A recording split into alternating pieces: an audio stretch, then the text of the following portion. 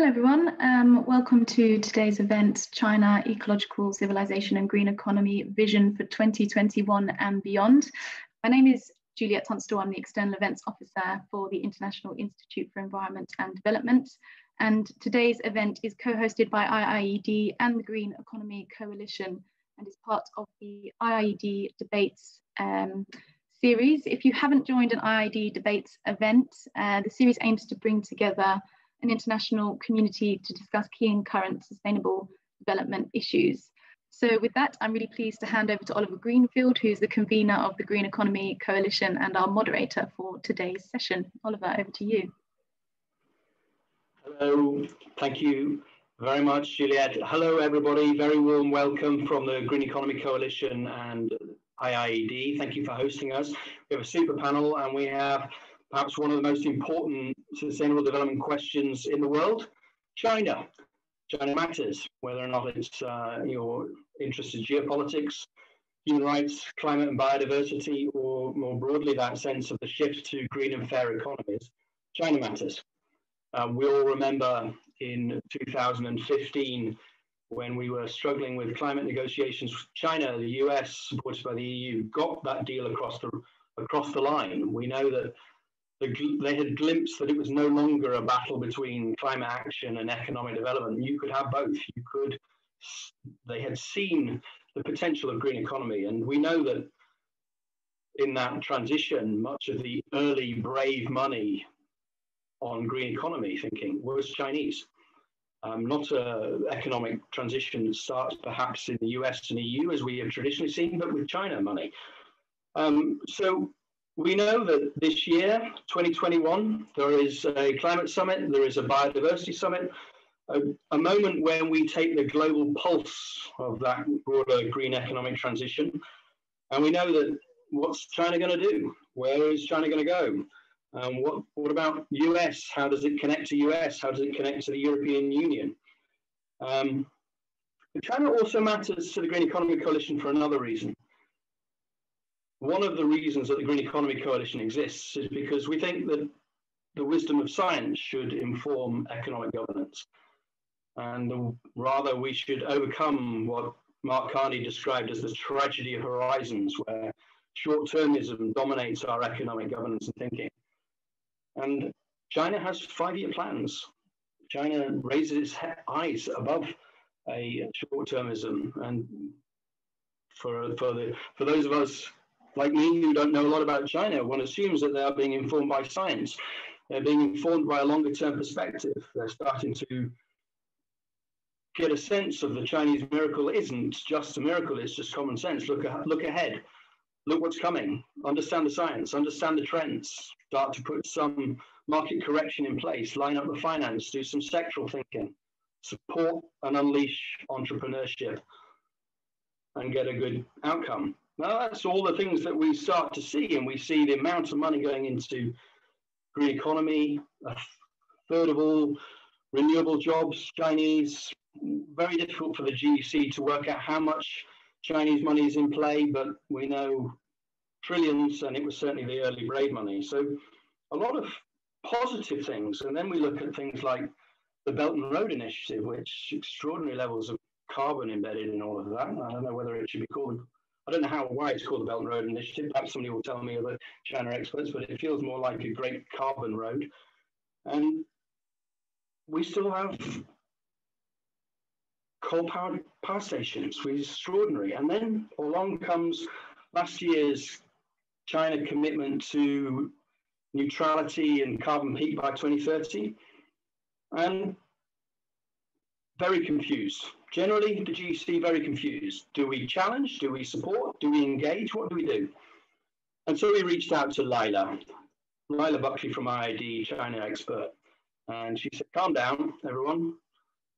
Seek first to understand China. Seek first to understand where China is coming from.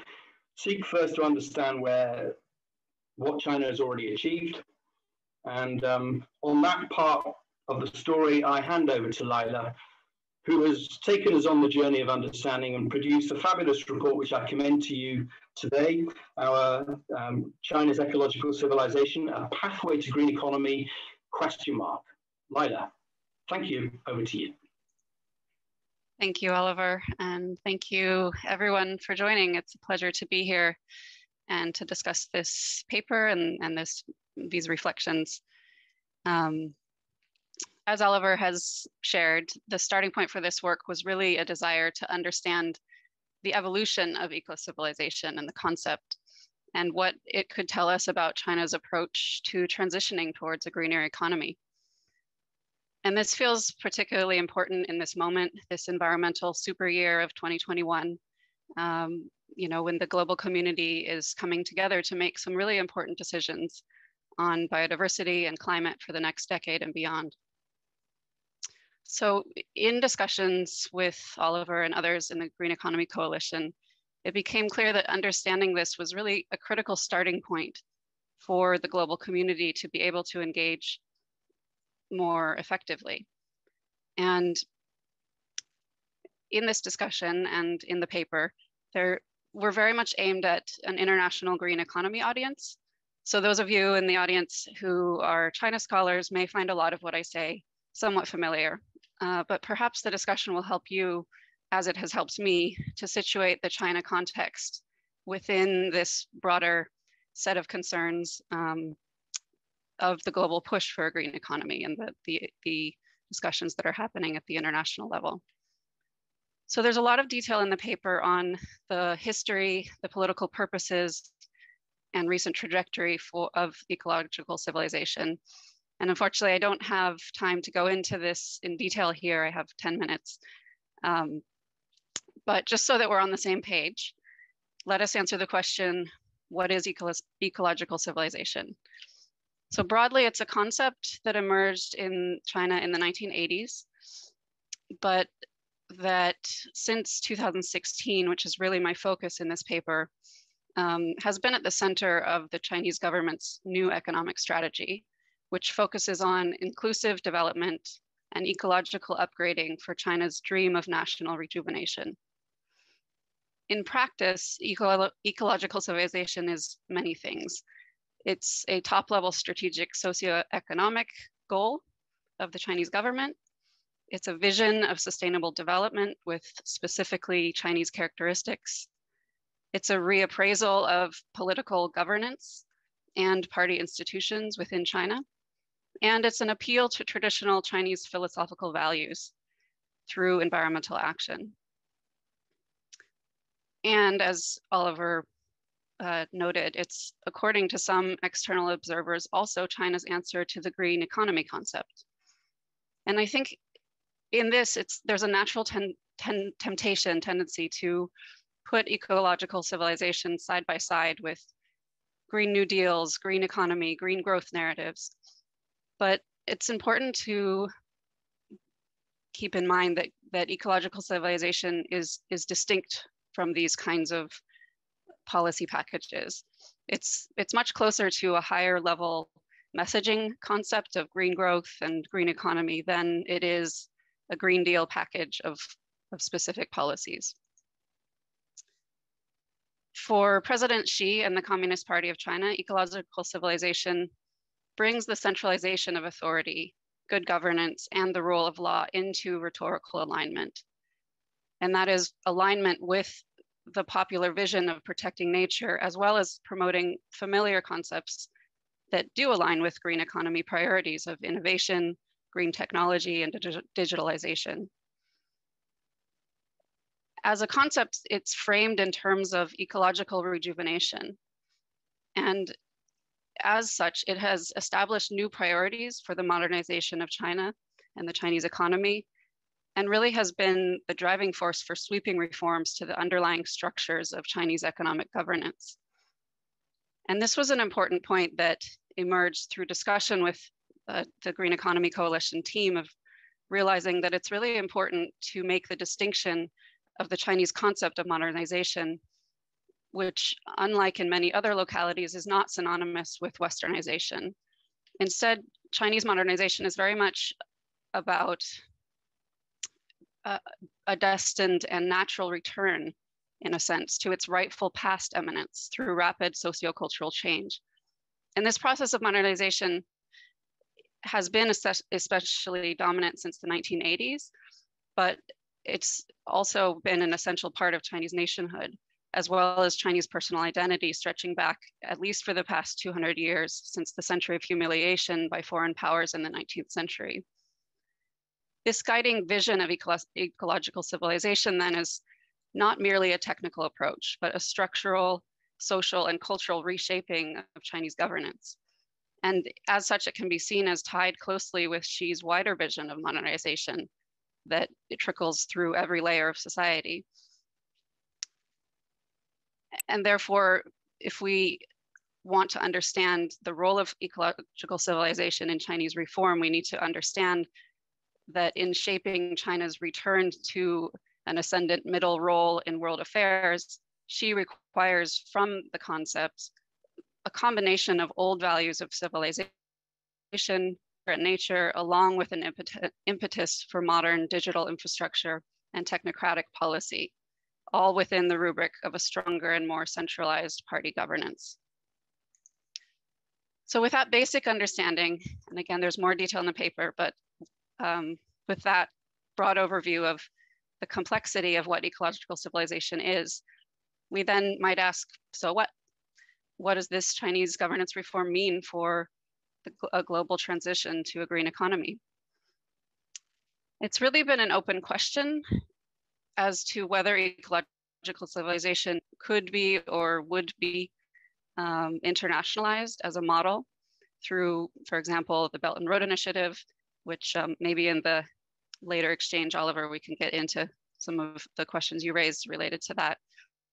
Um, and but also other international processes or through China's policy policy leadership. There's there's been a lot of speculation as to whether China was wanting to internationalize this concept, whether it was China's branding of green economy.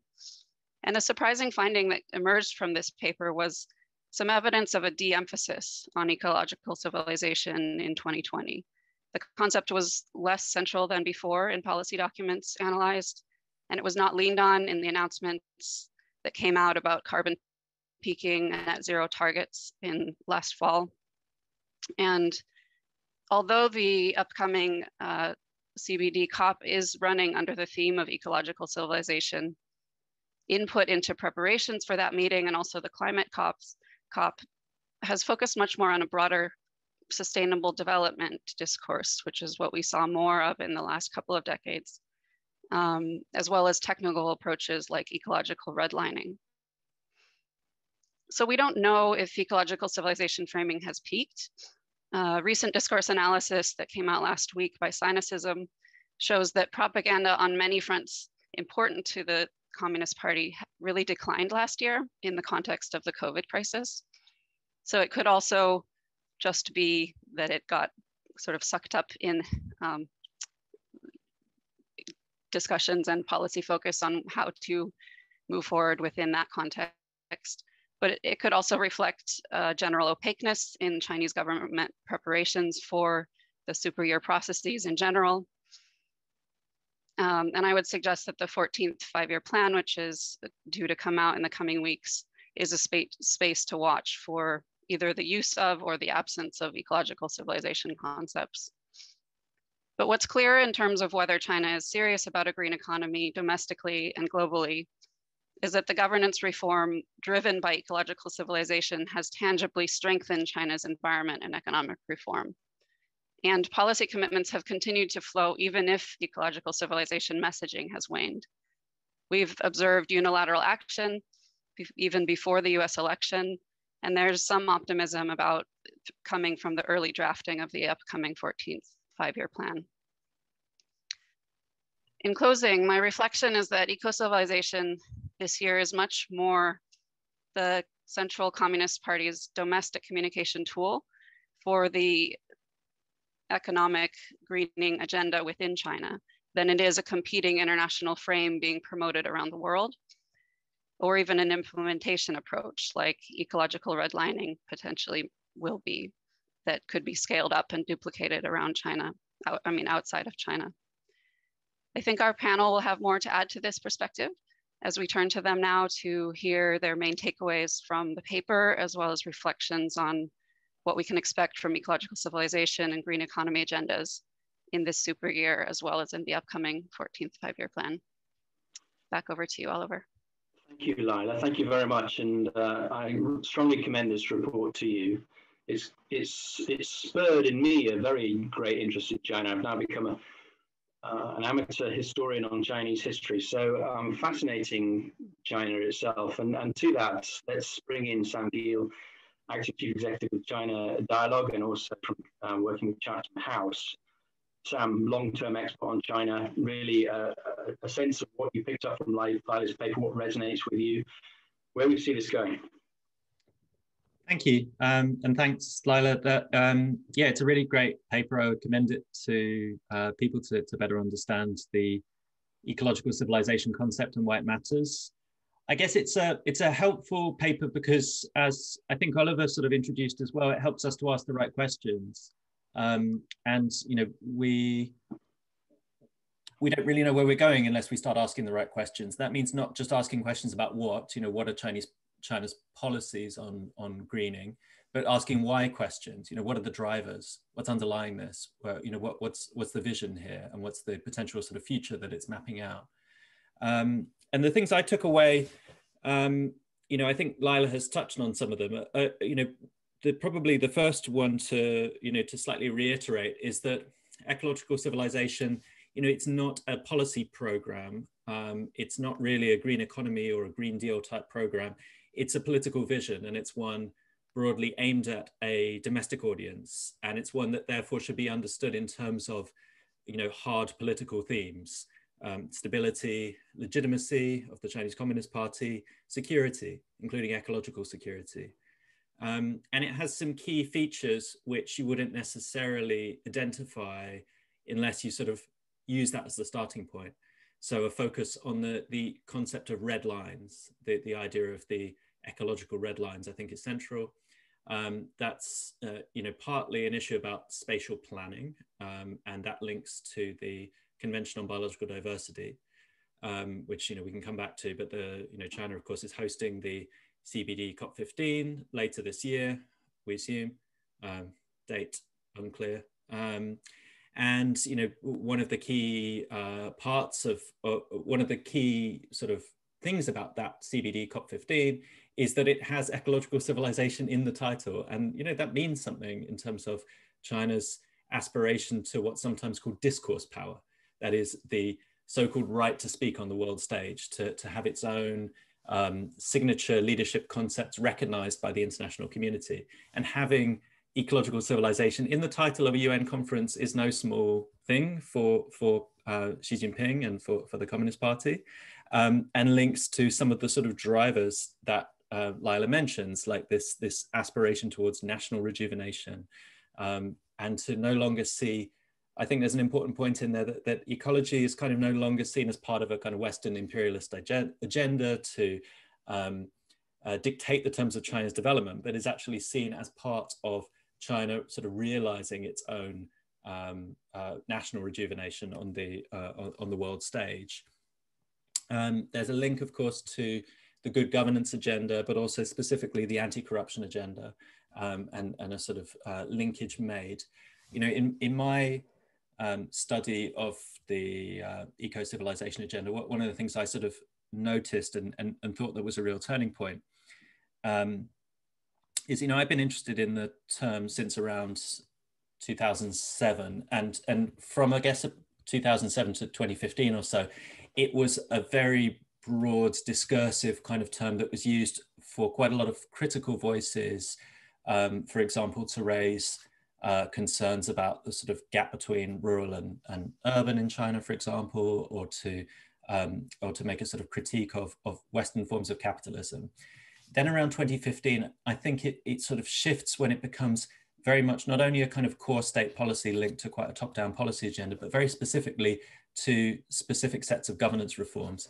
Some of the main ones being around trying to remove structural misalignments uh, around the way that policy is made, specifically between central and local. So for a long time, there was a big concern that uh, particularly GDP, um, sort of a, a, a, focus on GDP as the key benchmark of political evaluation was meaning that that local officials were kind of much keener to uh, pursue growth at all cost policies um, to the detriment of, of kind of um, central edicts on environmental protection, particularly energy intensity goals, carbon intensity goals, and so on, the kinds of things that come out of the five-year plans.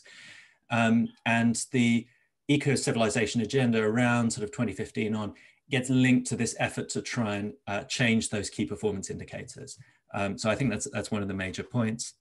Um, otherwise, uh, I guess the, the other key point that I took away from Lila's paper is that the way we're moving in different sort of phases uh, from a, what, what she calls a startup phase um, through the 13th five-year plan that we're just ending now, where you see ecological civilization as part of the plan for the first time, kind of underpinning some of that governance reform agenda, to a kind of consolidation, and now I would say a linkage to the, the overarching 2060 carbon neutrality goal.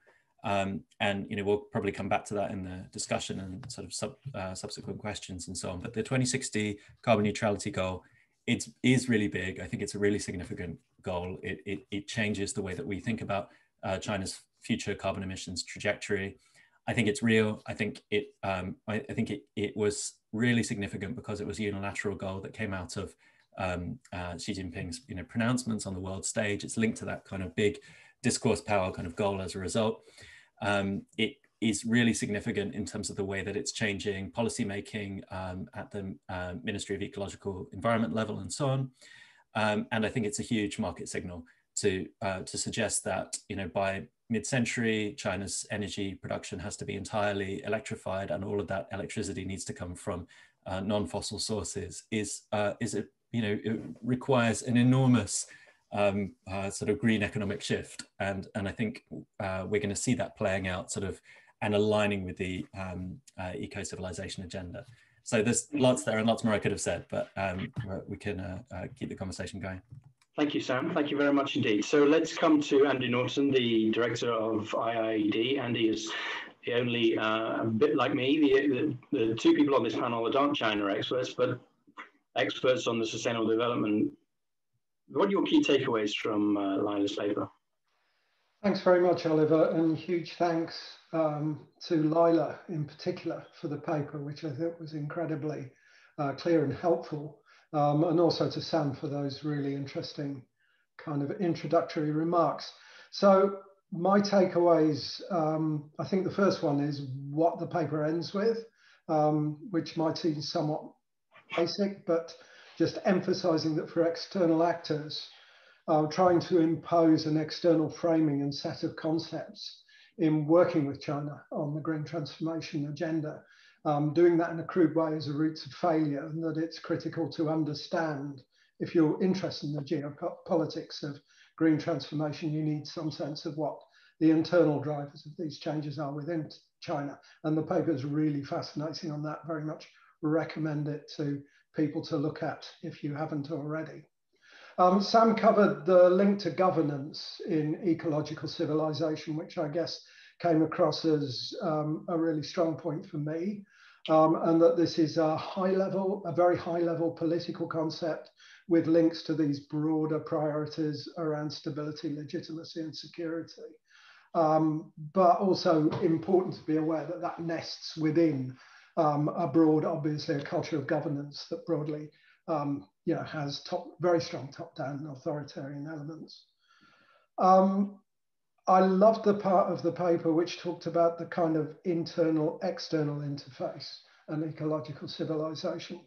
Um, how um, the Chinese government has used this as a way of um, legitimizing to a domestic audience um, a strong engagement in leading global environmental agendas by putting Chinese cultural values at the heart of the discourse. Um, and again, that's, that was a really useful point for me. Um, something I'm sure we'll come back to in the discussion is BRI, and Road Initiative, um, which seems to be a weak spot in terms of, um, as far as I can tell from the paper and other sources, there is as yet no comprehensive plan for greening BRI investments. And I'd be really interested in others on the panel who follow this stuff in more detail and whether they think that is an area where we can hope to see change um, in the coming in the coming months and, and year. Um, final, well, final couple of thoughts. Um, I think, as Lila mentioned, in the wake of the pandemic, um, the sort of primacy of the eco-civilization framing seems to be fading a little.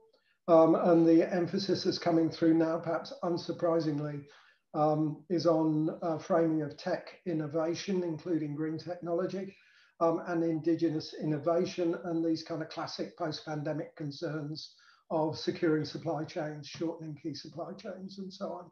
Um, so that also, it was really interesting that there was a sense that it's possibly fading a little, but again, um, too early to tell if this is a long-term shift as I understand it.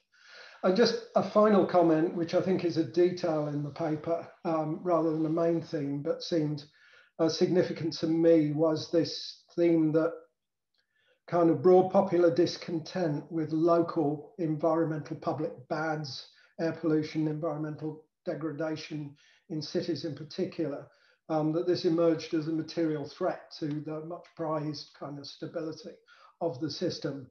Um, and that seemed important to me because it indicates that for all the top down dynamics that we've seen um, strengthening in recent years, policy remains sensitive to bottom up popular pressure, at least from some publics, maybe not from all.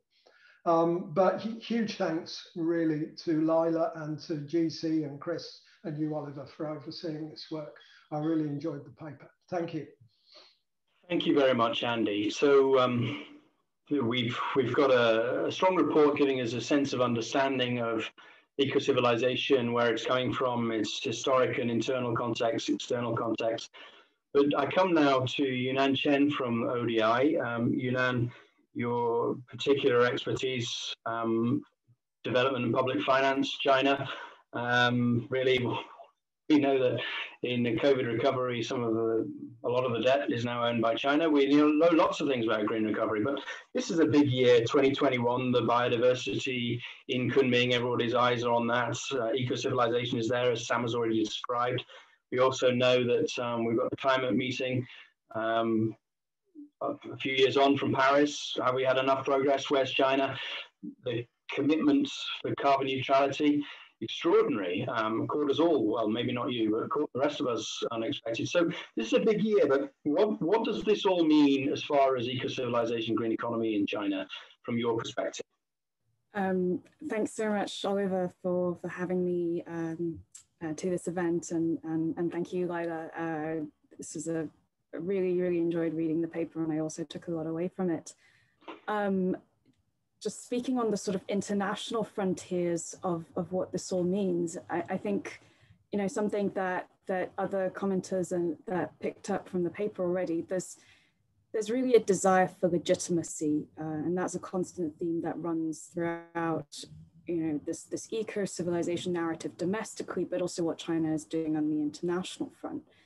Um, we've seen in the last decade uh, increasingly assertive global actor with very strong aspirations to, to participate in global governance. Um, in the wake of the COVID pandemic, vaccine diplomacy and addressing the impacts of the pandemic has, has been another frontier of this, but also the climate agenda and, and participating meaningfully uh, in, in dealing with climate change. Um, this is a, a, very prominent platform for China now to to really assert itself on the world stage as a as a provider of global public goods and as a contributor to, to global governance. Um, something to note also in the policy discourse is uh, you know, this idea of, of a shared community of common destiny, uh, which is very, very uh, recurrent right now um, and, and enforces this idea of you know, China as, uh, as, as a as a contributor to to um, to this this this global system um, in providing these these global public goods, and you know particularly in the in the last four years under the Trump administration, it's it's really taken advantage of that of that vacuum in leadership uh, to to push this agenda and, and to push itself as a responsible global public power. Um, I think with the with the return of uh, democratic leadership and, and the ascension of Biden, um, this is a positive sign. I don't think we'll see a return to the sort of Obama era. Still a lot of remaining. so, so in the wake of, of COVID, I think we're seeing uh, a deceleration now in in the kind of overseas engagement and development finance that's characterized a lot of the last two decades. You know, this investment in, in mega projects, in these kind of turnkey engineering contracts. Uh, and there's really a restructure within China's development financing system to to pay more attention to risk in these overseas projects. And, and I think environmental and climate risk is also going to play a, a bigger part in that. Um, something that ODI has been paying attention to, and, and we're about to release a, a new economic pulse that looks at uh, the uh, China's economic recovery and implications abroad. Um, what we're seeing is also that renewable energy is going to play a much bigger part in China's overseas engagement. It's been increasing as a share of projects. So, so while financing and construction in a lot of this, the, these other kinds of contracts has slowed down, renewable energy has not as a sector. And I think in future, this is an area that you know, China is, is very, very keen to develop and expand, both domestically in expanding uh, the consumption and use of renewable energy technology to fuel its domestic energy demands, but also an area in which it wants to build a competitive edge overseas. And it's, uh, we've, we've seen in, in a recent um, forum between China and Central Eastern, uh, Central and Eastern European countries that it wants to build uh, more cooperation between companies in renewable energy. Um, and it wants to expand its renewable energy investments in Eastern Europe as well. Uh, the Belt and Road is still, you know, a great concern. And, and as, as you've noted, you know, the BRI is something that hasn't really featured prominently in, in these carbon neutrality pledges. There's still a kind of open question as to what the implications will be. Um, for, for developing countries and for Belt and Road partners. Um, I think some an interesting development to note is that you know, China is interested in working much more multilaterally on the BRI. There, uh, there was the creation last year of the Multilateral Center, Multilateral Cooperation Center for Development Finance, or the MCDF, that was created uh, as a platform to work with you know, multilateral development banks, including uh, you know, the IDB, the, the EIB, the AIIB. Uh, and so there, there is a platform for the influence of these multilateral actors who have very uh, expertise and a long established record of, of good environmental governance and safeguards to potentially influence how the BRI develops in the future. Um, and uh, there's more to say on this, but I'll, I'll stop there for now. Thank you, Yunnan, very much indeed. Okay, so we have a, a, very large number of participants today. I just encourage you to start putting your questions in there or voting which question you like from other people because I've given everyone one go, but I will have a couple of follow-up um, questions from our expert panels as I then look to uh, bring all of your questions in. So please be active or either voting or insights. So let's um, give one sort of final round of, of questions to Sam, and we'll bring Lila back in and also Andy. This, this idea of um, what gives you hope, reason for hope, um, the US, EU, China, is there an axis of, of real economic power um, coming through on this green economic transition? Um, the other point that Lila, I'm very clear that this is this is more than a policy suite. It is a, a rejuvenation, a, a, sense of modernization, a, an external narrative. you know, we have in the West have that saying, "You've got to walk the talk," and it's very difficult to put forward a concept at a, at a macro level and then still create a lot of trouble with Belt and Road carbon. So, you know, the idea of the, there's still a dissonance for me, certainly, about um, a narrative and, a, and an action. Um, so, and we also do have this big year for nature. We know that the Kunming COP, what, what, what are we going to get from that as well? So there, there's some real um, sort of macro questions for us about, maybe Andy, I'll come to you on EU, US, China. Um, Lila, I might come to you about the question about the, the dissonance between um, uh, concepts and external concepts and the reality. And um, Sam, really that sort of reasons for hope for this year, what you think we were going to get maybe from this uh, 14th year finance, um, 14th, sorry, the 14th five-year plan. Um, and maybe all of you might address that, what we, what we should be looking out for, because this report was really written to warm us up, to give us more insight in how to evaluate the, uh, the five-year plan. So all of you can pick up that question if you wish. So let's just do a quick round, final round before we open it up. Um, Lila, I'll come to you first because you've sat there patiently.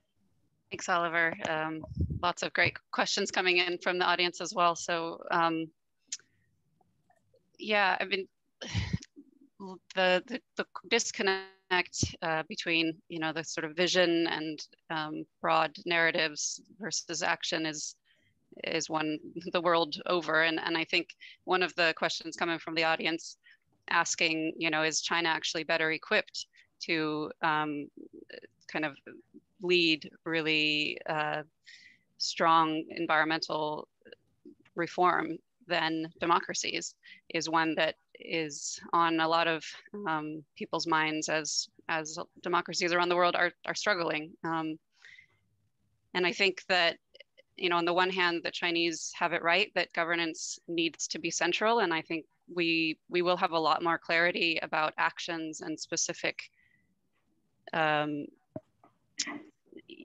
you know steps that will be taken in the coming weeks once the 14th five-year plan is out. But what we do know is that governance and strengthening of central power will continue.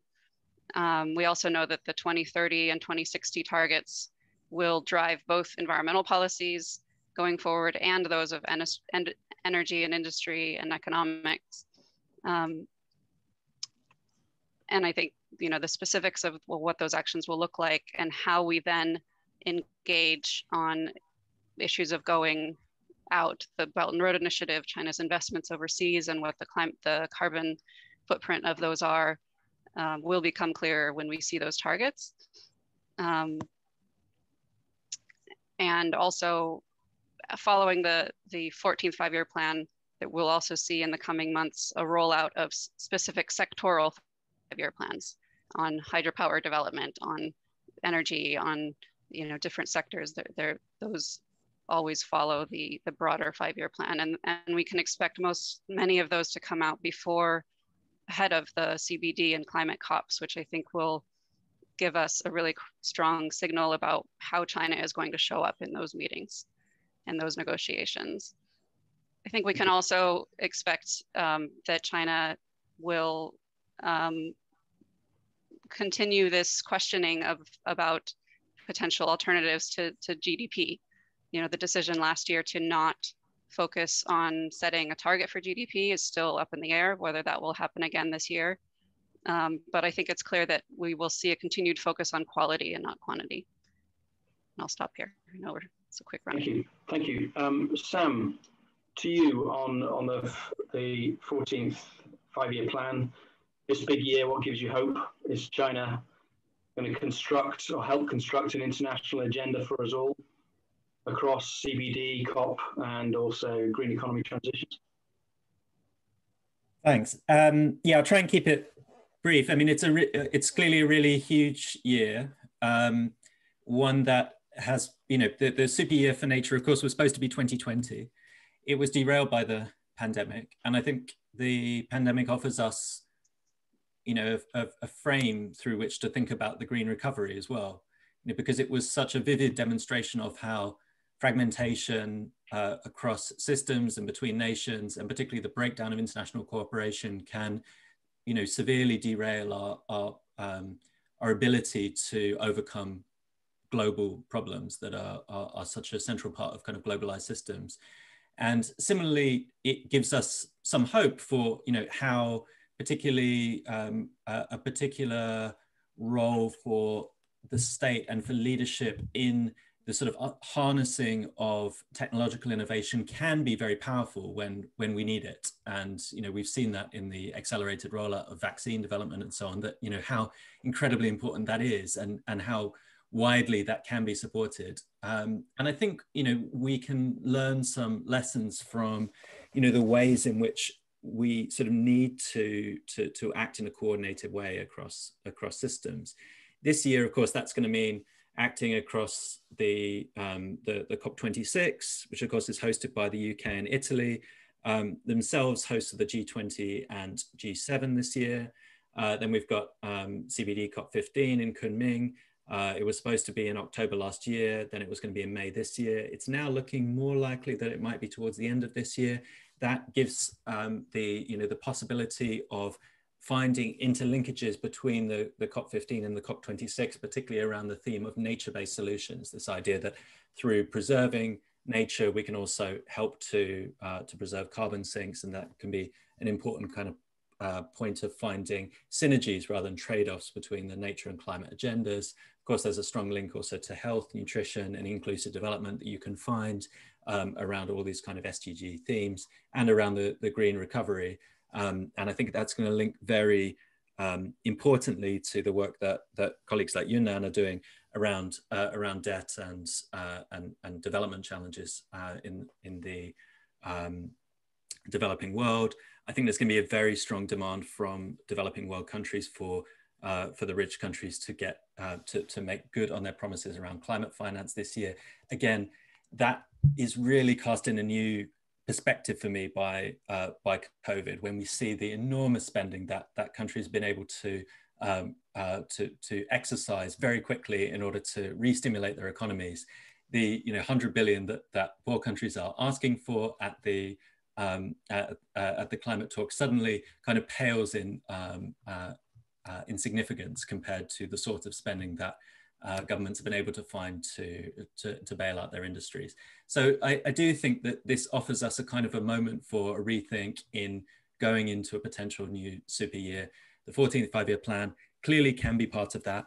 We will know the numbers, some of the top headline numbers by Friday, I think. That's it's likely when at the National People's Congress, Premier Li Keqiang will give his uh, sort of top headline targets. That will include a, a, presumably a growth target, although as Lila says, maybe that's sort of been downgraded a bit. I think there will be probably a headline growth target. There'll be a carbon intensity target, uh, which is of course, you know, um, uh, carbon dioxide per unit of economic output. There'll be an energy intensity target. There might even be, for the first time, an overall carbon emissions cap, uh, which would be a very significant kind of move. Um, and then from there, we'll see fleshed out the, you know, the, the big kind of uh, themes over the next six months or so around power and uh, air pollution, uh, some of the other sort of big um, uh, big things that matter in terms of the economy. We already know some of the big themes. We know that it's going to look at um, so-called new infrastructure, so-called sort of new patterns of industrialization around things like EVs, um, you know, electric mobility, um, AI, big data, 5G, all of those uh, that moving up the value chain. And you know, it's uh, to, to, wrap up quickly, I think you know when we think about the kinds of moves that have happened so far and have been so transformative in terms of China's climate policy, most of them really align with that economic agenda. That is to say, um, moving towards slower, higher quality growth, moving up the value chain away from energy intensive, carbon intensive, polluting production towards innovation and services, um, achieving uh, technology leadership and and um, uh, particularly becoming the leading exporter of clean technologies to the rest of the world and creating markets for those technologies, um, as well as the link between that and as uh, I think it was um, Andy Norton mentioned, uh, kind of the link between that and, and legitimacy, particularly being seen to act on issues of public concern, and that prominently includes air pollution and, and other forms of, of local pollution. Thank you. Thank you, Sam. Very comprehensive answer. Look, I'm going to come back to the, the question of debt and money to you now in a second, so warming that one up for you now. But um, come to Andy first. Um, really, the, the sense of the prospects of international adoption of eco-civilization. A question from James, um, from our, our audience. And, and the sense of, of you know, the international diplomacy angle of US, EU, and China. China's putting this this concept out there as a narrative of its own renewal. What is the sense that this is that that policy will be successful? I, yeah, I mean, I I don't see ecological civilization um, becoming a dominant framing for actors like the US and the EU. Um, obviously, the Europe has taken a Green Deal framing, um, largely from I guess, US discourse. Um, and the kind of narratives and content of the Green Deal proposal obviously underpin a lot of what's um, what's cooking in the US. Um, I mean, Sam's given an incredibly um, good and comprehensive overview. So, I mean, just to pick out a couple of things. Um, one thing is, in terms of the geopolitical context, I can't think of a time when the major blocs have had so much to do internally, domestic agendas that are so incredibly challenging. I mean, if you look at what the Biden administration will have to do, um, it's getting it, trying to get the, the pandemic stimulus through now, then it will look for extra trillions on um, green transformation. Um, huge challenges in terms of getting that through, obviously, a very tightly um, uh, poised kind of Senate in particular. So, um, yes, the international agenda will be really important, and the Biden administration's put out the signals on that with Kerry and with others. Um, but they will have an amazing amount to do uh, domestically, as will the EU. So um, that kind of, I think, creates opportunities for China to be influential if it takes um, these narratives forward. It's still not entirely clear to me how far that's going to happen. And just a final thought I mean, this again echoes stuff that Sam was saying, but the geopolitical context has a number of elements. One is who's going to lead on pandemic recovery as pandemic recovery, right? Leave aside the green bit. And how is that going to play out? Um, debt, in particular, China's position um, holding uh, more bilateral debt than any other country is very um, critical there. Um, also, the elements of vaccines and the sort of vaccine diplomacy that will roll out over the coming year will also have huge um, geopolitical ramifications. And then, as others have mentioned, um, the kind of competition for markets in green technology, green kit, consumer kit, and so on. So it's, um, I think it's a really complex overall framing and one where domestic challenges and this kind of broader geopolitical um, context will set the framework within, um, within which certainly the CBD rolls forward and to an extent COP26 as well. So it's hard to say how that will come out um, and how, how it will emerge. I mean, it feels obviously like an area where um, the international agenda for green transformation is very competitive. Um, so how that fits in with the big international conferences will be really interesting to see unfold. Just a final thing is that so far, I think the Chinese agenda on CBD is much less clear than it is on um, climate mitigation and the various agendas around that. I was really encouraged to hear from Sam a sense that, that there is something yet to come in that space, um, which would be great to see. I think everyone is anticipating COP15 to be um, October at the earliest. So the, the space for development there is a really interesting one. Thanks. Thank you. Thank you, Andy. So Yunnan warned, um, warned about the, the money piece. We, we hear Andy say that the China owns more of the COVID debt than, than others. And this sense that Sam brought up that we developing countries wanted 100 billion for climate action and oh it's way too much. And all of a sudden trillions are, are, are swilling through the world from magic money trees from wherever. And but I mean, there is a genuine sense that at some point you have to pay this money back, and you, you know, what what conditionality does it come with, and and um, are we going to have to spend it again all over again when we when we uh, if we don't get this stimulus right, and we then have to pump it back into the system to get the green recovery on track, and an extraordinary sense of um, of where is the money? What conditionality does it? Does it have a conditionality? Is it supporting green recovery? Show me the money. Show me where it's directing, and show me how it's going to be spent. And uh, and China's role in all of that um, extraordinarily powerful and extraordinarily important. Your thoughts on on that? Um, so I think you touch on on several uh, interesting issues there. I mean, one one major kind of elephant in the room is this question of developing country debt and just how outsized a role China plays in that. Um, and and yes, it's it's going to be a major uh, problem for for public financial systems and for governments in developing countries for years to come. Um, on top of the sort of health and economic impacts of the of the pandemic. Um, on debt, you know, it's a it's a very difficult question for China. On the one hand, it's been, you know, again trying to demonstrate uh, its its responsibility and trying to participate in, in sort of global governance systems around debt through the the debt, debt service suspension initiative and now the, the G20 common framework. And it is the biggest uh, participant in that common framework agenda for uh, restructuring and renegotiating um, bilateral debt to developing countries. But the problem with a lot of this Chinese debt is that it is it is from commercial entities. It's from uh, a lot of these are commercial loans. They're not easily forgiven um, and they're not easily restructured. And we've yet to see, uh, in terms of Chinese policy signals, whether they have a sort of long term approach on how to deal with uh, with the, the sort of struggling ability of developing countries to pay back this debt other than the current status quo, which is to just kind of keep kicking the can down the road and suspending repayments and, uh, and suspending service. I mean, one sort of instrument that's been proposed, uh, and, and interestingly, Ecuador has, has been trying to push this with China, is to use uh, debt swaps. So, so debt for nature or debt for climate swaps, where a portion of debt can be forgiven in return for um, you know, uh, preservation of biodiversity or uh, pledges for, for financing to, to renewable energy or to clean tech sectors.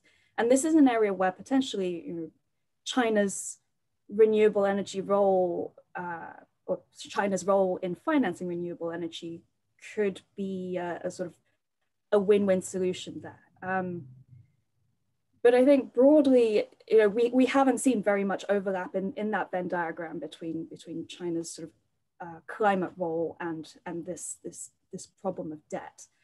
Um, I think what's clear in the future is that China is paying a lot more attention to to this question of, of what it's financing. Um, and that will also include you know, more attention to the to the ecological ramifications of the projects that it's financing and probably to ramp up more investment in, uh, in, in renewable and clean energy, uh, which will include a huge um, increase in, in probably hydropower finance.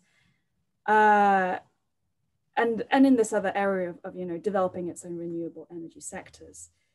Um, but yeah, there's, there's yet to be a really meaningful interlinkage between these two issues. Um, and this is an area which I think you know developing countries do need uh, greater capacity to to push and to negotiate with China on. And uh, there is also potential, I think, for for greater trilateral cooperation and uh, and and for EU China cooperation um, to to work with developing countries and build up uh, their their clean energy sectors, um, to have a green economic recovery, uh, as well as Thank hopefully you. resolving that problem.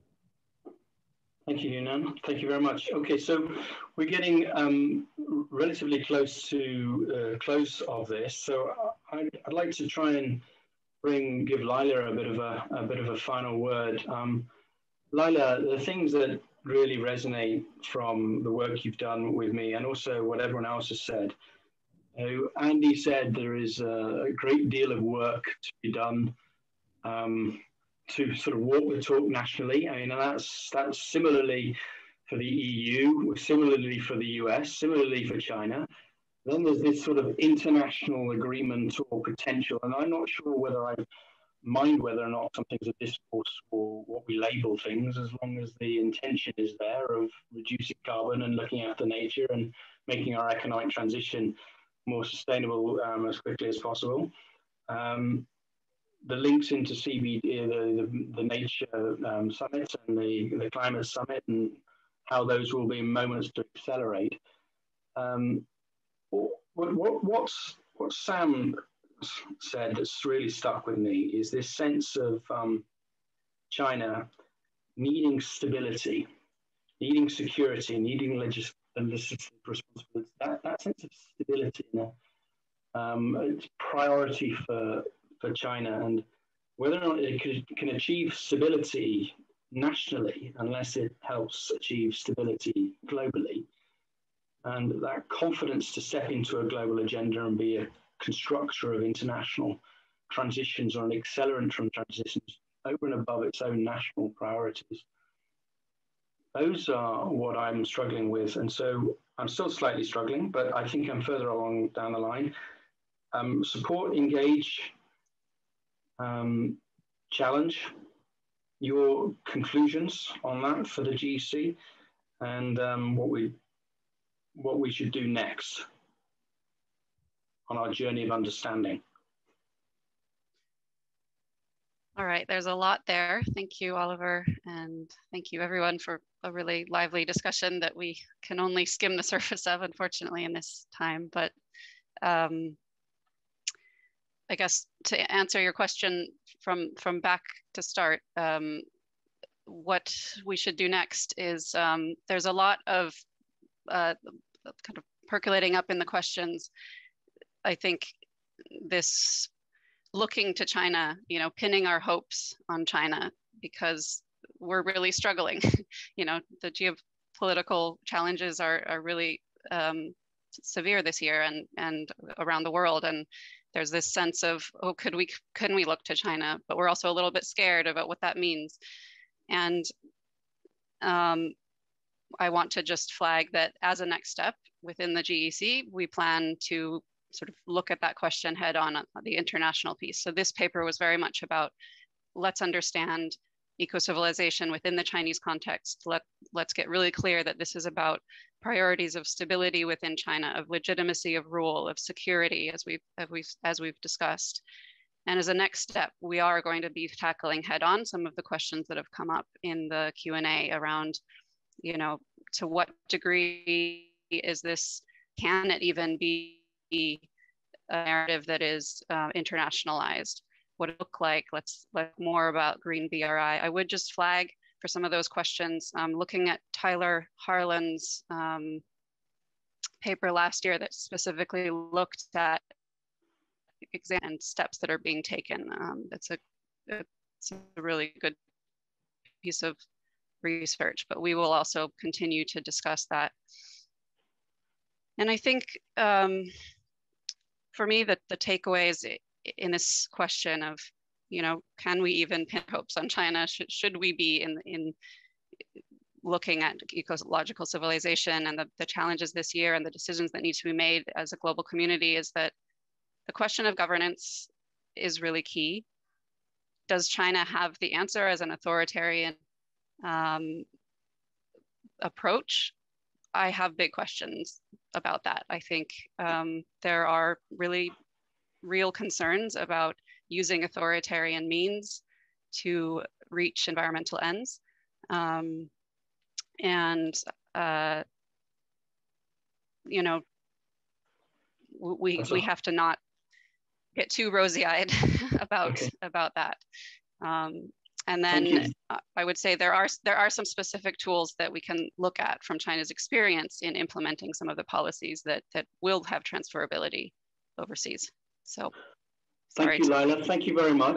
Uh, thank you very much to our panel, um, Sam, Yunnan, Andy, Lila. Thank you very much. It's been a fascinating journey of discovery of China, and I think you achieved what you set out to achieve, Lila. We've we've now become um, much more knowledgeable about China, much more empathetic to its own internal challenges, and therefore what we can expect of it on the global stage. And I think that's really very very valuable, and we will address the next question of, of what does that mean for the international, more explicitly in, in the nature and the, and the climate negotiations and discussions, and what that means for European policymakers or American policymakers, and what that means for Green Economy Coalition and, and colleagues as well. So um, we're very grateful for all of you today. We signal the report.